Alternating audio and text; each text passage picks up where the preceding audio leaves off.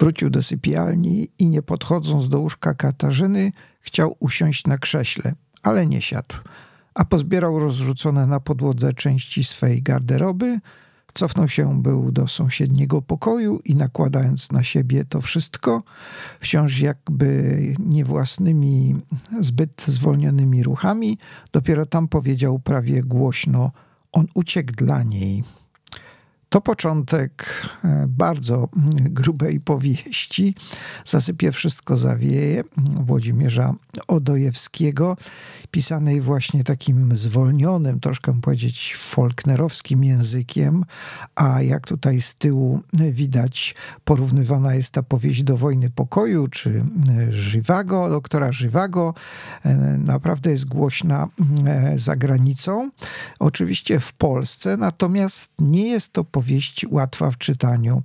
Odojewski urodził się w 1930 roku, a więc w czasie, kiedy toczy się ta akcja, więc wojny, miał 13-14 lat. Natomiast opisał to wszystko świetnie. Bardzo jest to mocna rzecz.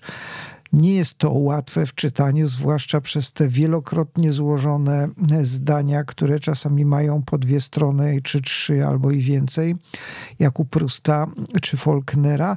Natomiast jeśli się przemoży ten trud czytania, naprawdę spotyka się z trudną fizycznie, bo właśnie taką w czytaniu, ale niesłychanie mocną i zapadającą w pamięć lekturą, która odnosi się do naprawdę bardzo skomplikowanych i trudnych losów Polaków na Kresach, Ukraińc, Ukraińców, Rosjan, Niemców. To był w czasie II wojny niesamowity tygiel emocji i mm, zbrodni, które się tam e, toczyły. Czytamy bardzo przejmujący opis wizyty w Katyniu bohatera, właściwie jednego z bohaterów, bo los dotyczy trójki postaci, Katarzyny i dwóch rywalizujących, w cudzysłowie, o nią e, mężczyzn. Jeden z nich jest narratorem tej powieści i stara się jakby